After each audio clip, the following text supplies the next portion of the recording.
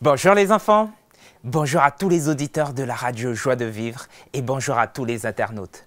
Je suis très heureux d'être avec vous aujourd'hui pour votre émission les enfants, Louange d'enfants. Alors les enfants, comment allez-vous?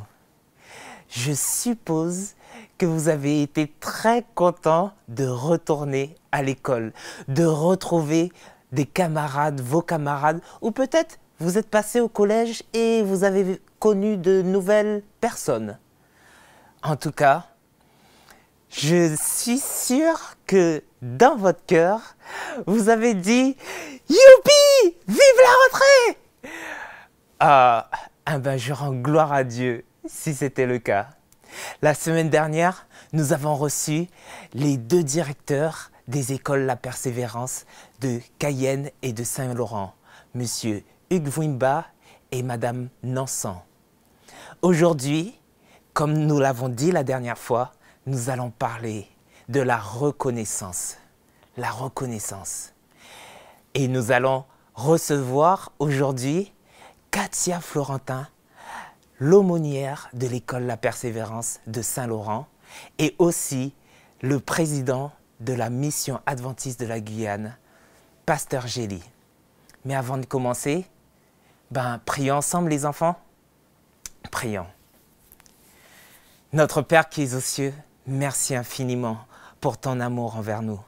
Merci pour cette nuit que tu nous as permis de passer. Merci pour cette rentrée des classes que tu nous permets de faire. Seigneur, merci aussi pour cette émission. Merci de nous permettre de nous retrouver pour te louer, pour t'adorer. Merci pour tous les enfants qui ont envoyé des vidéos de louanges. Seigneur, que nous soyons édifiés, que toute gloire te revienne et que ton esprit remplisse nos cœurs de joie. C'est au nom de Jésus-Christ que nous te prions. Amen. Alors les enfants, je vous ai dit que nous allons parler de la reconnaissance et il y a un chant que j'ai envie de chanter avec vous tout de suite. C'est un M, c'est un E. Vous connaissez ce chant? Alors, chantons-le tout de suite. C'est un M, c'est un E, c'est un M, un E, un R. C'est un M, c'est un E, c'est un M, un E, un R. C'est un M, E, R. C'est un C, un I. M, E, R, C, I. Merci. Chers enfants, nous sommes en Guyane française et ici en Guyane française, il y a plein de cultures, plein de richesses. Et il y a Enzo qui est d'origine brésilienne et qui a voulu louer le Seigneur et offrir à Dieu un poème d'adoration dans la langue de son cœur, le portugais. Alors je vous invite à écouter Enzo Anzan qui va nous partager ce poème intitulé, intitulé O amor venceu, ce qui signifie l'amour a vaincu ou l'amour vainqueur. Écoutons Enzo qui l'a fait de tout son cœur. O amor venceu. Meu nome é Enzo, eu tenho 11 anos, sou do grupo Betel e vou recitar a poesia de nome O Amor Venceu. Quanto tempo sei se passou, inúmeras coisas desde então se transformaram, mas o tempo não conseguiu apagar o que há de mais real no mundo. Morrer foi o que decidiu um dia fazer por mim, e através do seu sangue, esperança ressurgiu enfim. Ah, é lindo saber que o amor venceu. Quantas vezes é difícil prosseguir, lutar contra o mundo e ainda sorrir. Mas ele sentiu a dor que seria minha, sofreu meu lugar que certamente não suportaria. Quanto tempo sei se passou a linda história que o tempo não apagou. Eterno Salvador, que comigo se importou, por mim se entregou, e quando meu coração se sente apertado e a vida então parece perder sua luz, fecho meus olhos e com minha mente vou até o céu, até a maravilhosa pátria celestial, linda como é, e o próprio amor não devo temer. Ele me ama e jamais me deixaria. Resta a mim regozijar-me em saber que o amor venceu.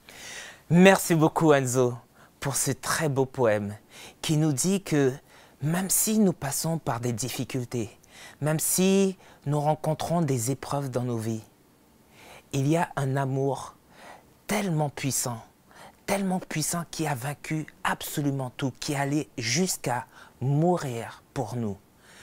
C'est l'amour de Jésus-Christ, cet amour incarné en Jésus-Christ qui nous aime d'un amour infini, d'un amour éternel et qui nous rend vainqueurs, nous aussi. Merci beaucoup Enzo.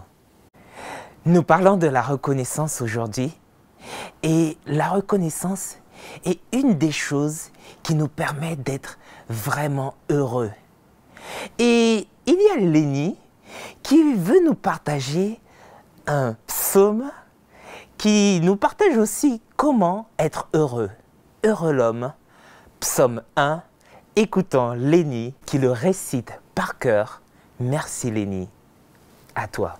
Bonjour, je m'appelle Lénie et je vais vous réciter le psaume premier.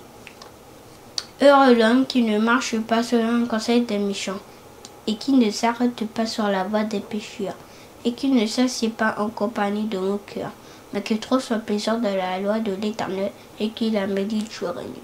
Il est comme un arbre planté près d'un courant d'eau, qui donne son fruit dans sa saison, et dans le feuillage ne se flétrit point. Tout ce qu'il fait lui réussit. Il n'en est pas ainsi des méchants, ils sont comme la balle que le vent dissipe. C'est pourquoi les méchants ne résistent pas aux gens du jugement, ni les pécheurs de l'assemblée des justes. Car l'Éternel connaît la voie des justes et la voie des pécheurs mène à la ruine. Amen, bon sabbat tous, prenez soin de vous. Merci beaucoup Lénie pour ce beau psaume que tu nous partages. Ce psaume est un des psaumes que j'aime beaucoup, que je préfère et que ma maman m'a appris. Et il reste dans mon cœur, heureux l'homme qui ne marche pas selon le conseil des méchants, qui ne s'arrête pas sur la voie des pécheurs et qui ne s'assied pas en compagnie des moqueurs.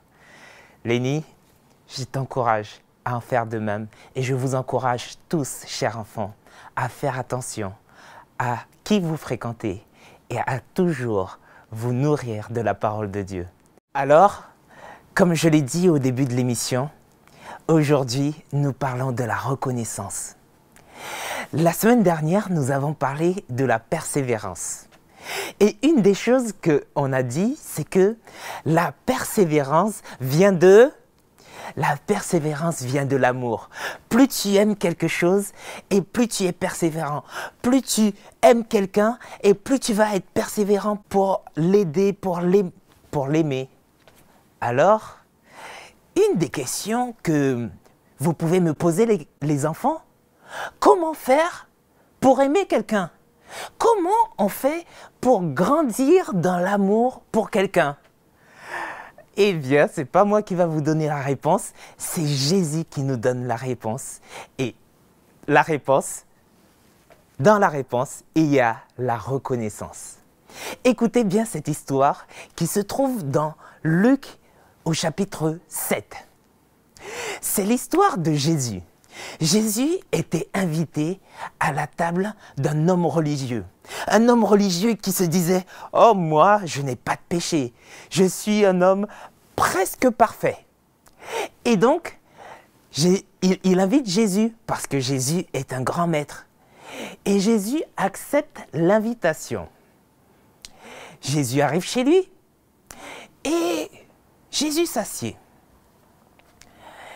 Et là, il y a une femme qui n'était même pas invitée à ce banquet, à ce repas, et elle vient et elle pleure, et elle pleure, et elle pleure, elle se jette aux pieds de Jésus. Mais pourquoi elle pleure? Que fait-elle? Et mais pourquoi elle arrive comme ça dans ce repas? Personne ne l'a invitée? C'est parce que cette femme avait beaucoup, beaucoup de reconnaissance envers Jésus. En fait, elle pleurait pas parce qu'elle était triste, elle pleurait de joie parce que Jésus l'avait pardonné. Et alors, elle était au pied de Jésus, elle versait des larmes, des larmes de joie, parce qu'elle savait que Jésus avait pardonné tous ses péchés. Elle avait apporté aussi un flacon de parfum et elle avait versé tout le flacon de parfum sur les pieds de Jésus et elle essuyait les pieds de Jésus avec ses propres cheveux. Quelque chose de précieux, tout ce qu'elle avait de précieux, elle l'offrait à Jésus. L'homme religieux chez qui cette scène se déroulait, qui avait invité Jésus, se disait mais c'est bizarre. Et mais pourquoi Jésus il accepte ça? S'il était vraiment prophète, il saurait que cette femme c'est une pécheresse.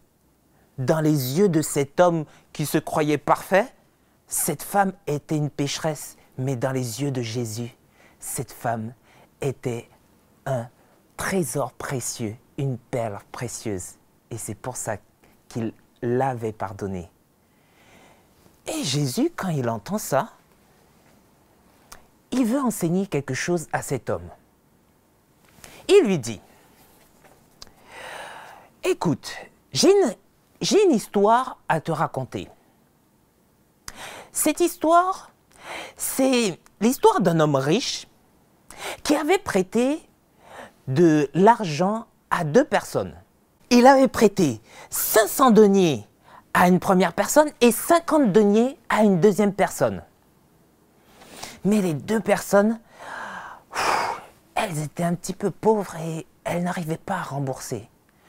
Alors, cet homme riche dit à ces deux personnes, vous savez, je vous donne.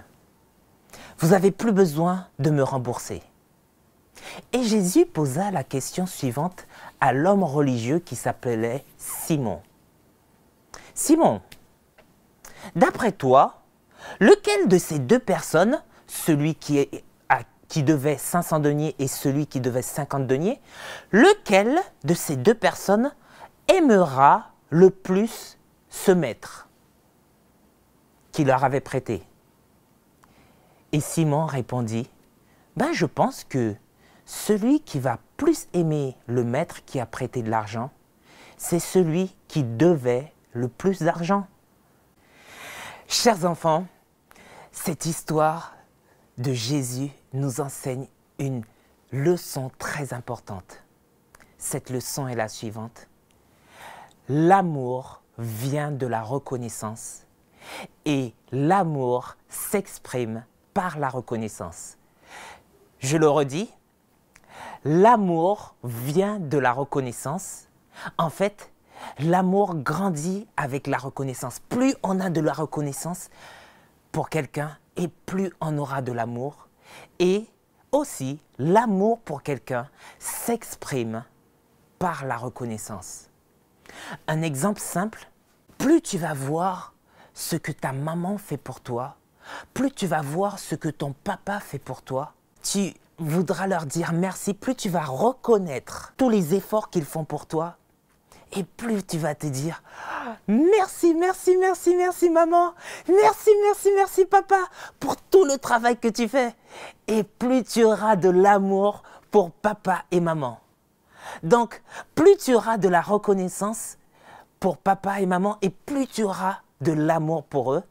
Et quand tu as de l'amour pour quelqu'un, ah ben, tu peux l'exprimer par la reconnaissance. Tu peux le dire en disant merci. Mais la reconnaissance s'exprime pas seulement en disant merci. Par exemple, tu peux exprimer ta reconnaissance en prenant soin de tes jouets. Tu reconnais que papa a pris beaucoup de soin pour t'offrir ce jouet et par reconnaissance, tu vas prendre soin de tes jouets ou tu vas aussi obéir à papa et maman, ranger ta chambre. La reconnaissance, c'est dire merci. Mais tu peux l'exprimer par des gestes aussi. Les enfants, je ne vous ai pas tout dit sur la reconnaissance. Il y a Katia Florentin, qui est l'aumônière de l'école La Persévérance de Saint-Laurent et qui veut vous dire très brièvement quelque chose de très important sur la reconnaissance. Écoutons Katia Florentin, mais comme les paroles de Katia Florentin sont des conseils de sagesse, on va juste avant d'écouter Katia Florentin, écouter Lioris et aussi Daphné qui vont nous partager tous les deux, un en français, l'autre en portugais, deux parties de psaume de sagesse du psaume 119. Écoutons Dioris, puis Daphne qui nous invite à écouter la sagesse et après nous allons écouter la sagesse avec Katia Florentin. À vous. Psaume 119, versets 9 et 11. Comment le jeune homme rendra-t-il peur sans santé en se dirigeant d'après ta parole Je serre ta parole dans mon cœur afin de ne pas pécher contre toi. Meu nome é Daphne, tenho 10 anos e sou da Igreja Moriá. Vou ler o Salmo 119, versículo 105. Lâmpada para os meus pés é a tua palavra e luz para os meus caminhos. Coucou les enfants, je suis Tati Katia de l'école adventiste La Persévérance à Saint-Laurent du Maroni. J'en suis l'aumônier et très heureux ce matin de partager un petit mot d'encouragement avec vous pour cette nouvelle rentrée. Et ce petit mot d'encouragement, il est pour tous les enfants de la Guyane. Alors je vais commencer par un petit verset qui se trouve dans 1 Thessaloniciens chapitre 5 verset 16 à 18 et il dit ceci Soyez toujours joyeux, priez sans cesse, exprimez votre reconnaissance en toutes circonstances, car c'est la volonté de Dieu pour vous en Jésus-Christ. Ce matin, j'aimerais vous dire, chers enfants, que votre sourire est une marque de reconnaissance, une façon de se dire merci à Dieu pour la vie et pour tout ce qu'il fait pour vous. Cette rentrée scolaire sera sûrement différente de toutes les autres. Peut-être êtes-vous un peu stressé ou même excité à l'idée de rentrer à l'école. Ou peut-être vous posez-vous quelques questions comme Comment cela se passera-t-il? Aurai-je de nouveaux camarades? Est-ce qu'il y aura de nouvelles règles? Ou alors serai-je en sécurité? Toutes ces questions, tu as le droit de te les poser. Seulement, sache que Dieu veut que tu sois heureux, en bonne santé et que tu lui fasses confiance. Notre verset dit premièrement, Soyez joyeux. Souris, même si c'est difficile. Garde une attitude positive et persévère. Deuxièmement, le verset dit prie sans cesse. Prie en allant à l'école, quand tu es dans ta salle de classe, en faisant tes devoirs ou même avant de commencer tes devoirs. Quand tu es à la maison, en faisant tes activités extrascolaires. Que tu te sentes bien ou que tu te sentes mal. Prie car Jésus t'entend et il répond. Troisièmement, dis-lui merci, sois reconnaissant, reconnaissant pour la vie, pour tes amis, pour tes parents, pour ton maître ou ta maîtresse. Dis-lui merci lorsque tu es triste, parce que il est toujours présent auprès de toi. Et quatrièmement, sache que Dieu t'aime et veut le meilleur pour toi. Durant cette année particulière, aie confiance en lui. Dis-lui merci. Prie et il agira pour toi. Bien sûr, continue d'appliquer les gestes barrières. Il faut être prudent. Eh bien, bonne année scolaire avec Jésus. Et juste avant de terminer, j'aimerais prier avec toi. Notre Père et notre Dieu, nous te rendons gloire et honneur pour ce moment que tu nous accordes. Veuille nous pardonner de nos péchés en pensée, en parole et en action. Et en cet instant, j'aimerais te remettre tous les enfants de la Guyane qui vont rentrer à l'école, spécialement aussi ceux qui font partie de nos deux écoles à Cayenne et à Saint-Laurent. Que tu puisses, Seigneur, les accompagner, les bénir, les garder, leur accorder ta force et ton soutien, et permets-leur de te faire confiance, d'être reconnaissant, et de voir comment tu agis pour eux. Merci de nous répondre au nom de Jésus. Amen. Alors, qu'est-ce que la reconnaissance pour moi? Eh bien, c'est tout simplement dire merci. Merci à Dieu pour cette belle nature, voyez le fleuve. Merci à mes parents pour ce qu'ils font pour moi, mes amis, ceux qui m'entourent. Tout simplement dire merci. Alors, si on vous demande d'être reconnaissant, pensez juste à sourire et dire merci. Que Dieu vous bénisse les enfants. Passez une excellente année scolaire avec Jésus. Merci beaucoup Lioris. Merci Daphne. Et merci Katia pour ces partages de sagesse que vous nous avez offerts. Merci Katia, Katia Florentin et l'aumônière. Et l'aumônière, peut-être vous ne savez pas euh, ce qu'est un aumônier. Un aumônier, c'est comme le pasteur d'une institution, le pasteur d'une école, le responsable religieux d'une école. Ben moi, je suis le l'aumônier de l'école La Persévérance de Cayenne. Chers enfants, moi aussi j'ai envie de vous exprimer ma reconnaissance. Je souhaite exprimer ma reconnaissance à tous ceux qui ont participé à la réalisation de cette émission Louange d'enfants.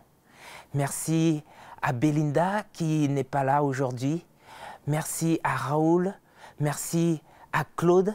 Merci à Katia qui, elle aussi, a participé à la réalisation de cette émission. Merci à l'UNI. Merci à toutes les tatis. Merci à tous les adultes qui ont participé à la réalisation, à tous ceux qui ont participé à la réalisation de cette émission. Chers enfants, en réalisant cette émission, nous avions une mission. Cette mission, c'était celle de vous bénir au nom de Jésus-Christ. C'était cette mission de d'être des bénédictions pour vous. Mes chers enfants, c'est vous qui avez été des bénédictions pour nous tous les adultes, pour moi et pour tous les adultes qui écoutent cette émission.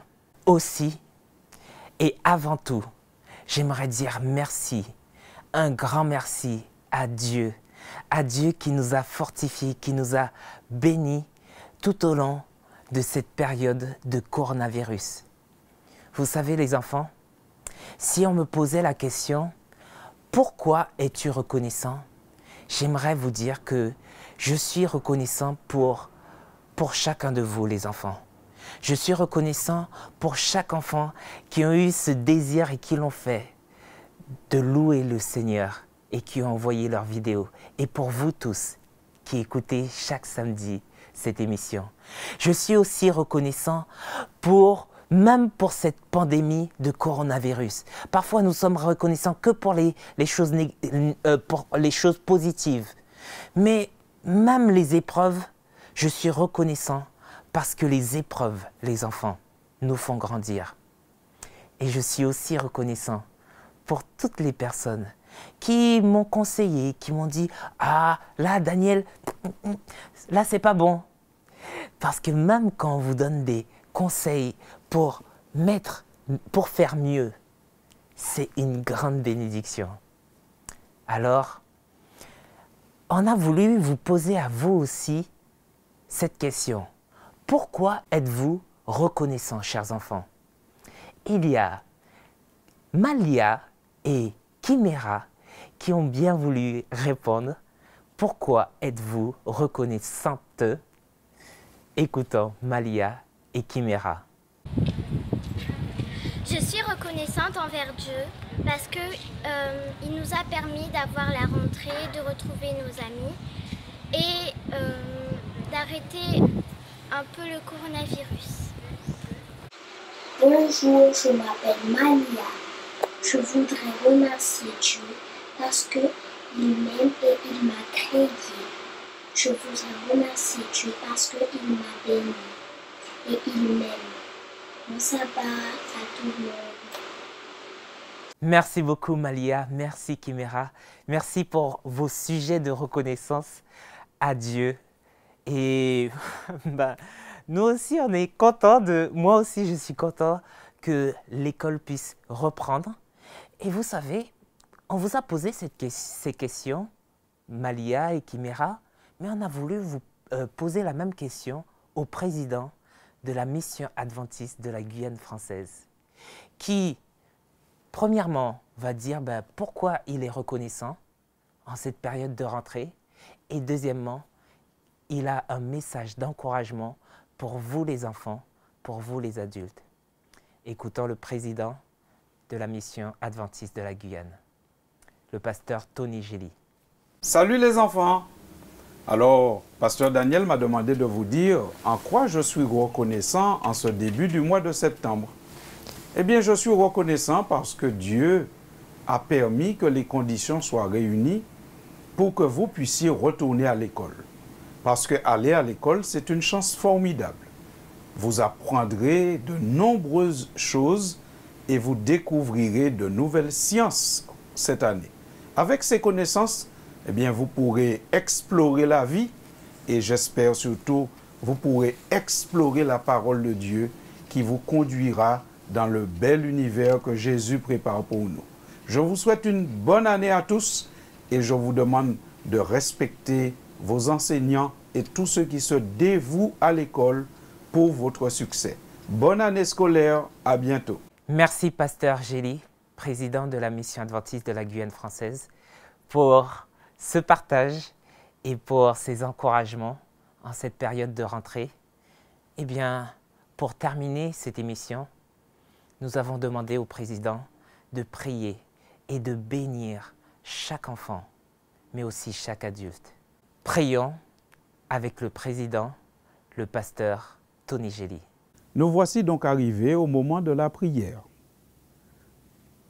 Prions ensemble. Seigneur notre Dieu, merci encore une fois, merci mille fois de ce que tu permets que des milliers d'enfants puissent retourner à l'école, retourner à leurs apprentissages, afin qu'ils se développent, afin qu'ils puissent mieux explorer la vie, afin qu'ils puissent devenir des personnes de plus en plus efficaces pour toi et avec toi. C'est pourquoi, Seigneur, nous te prions et te demandant de bénir tous les enfants, ceux qui ne sont pas encore en âge d'aller à l'école et aussi ceux qui vont à l'école. Bénis-les, protège-les et augmente leur intelligence chaque jour, Seigneur. Nous te prions aussi pour leurs parents, afin que les parents leur apportent l'assistance et l'amour nécessaires pour qu'ils puissent se développer comme Jésus, physiquement, mentalement et spirituellement. Mais aussi, Seigneur, nous te prions pour tous les éducateurs qui les encadrent. Accorde à ces personnes beaucoup de patience, beaucoup de sagesse, une bonne santé physique, afin que leur contact avec les enfants soit positif non seulement pour eux-mêmes, mais pour les enfants. Seigneur, bénis-nous tous. Bénis tous les enfants du monde entier. Au nom de Jésus. Amen. Merci, Pasteur Gély. Chers enfants, nous voici arrivés à la fin de cette émission. Et aussi, nous voici arrivés à la fin d'une série de louanges d'enfants qui était diffusée toutes les semaines. Louanges d'enfants ne s'arrête pas, mais nous aussi, nous allons faire notre entrée comme vous. Alors, louanges d'enfants, ce sera tous les mois et je vous donne déjà rendez-vous le mois prochain pour un louange d'enfants spécial éclaireur. Si vous êtes adventiste, vous savez sûrement ce que c'est éclaireur. Mais si vous n'êtes pas de l'église adventiste, alors vous découvrirez c'est quoi un éclaireur. Je vous donne rendez-vous le mois prochain pour un louange d'enfant spécial éclaireur. Que Dieu vous bénisse. Merci. Au revoir.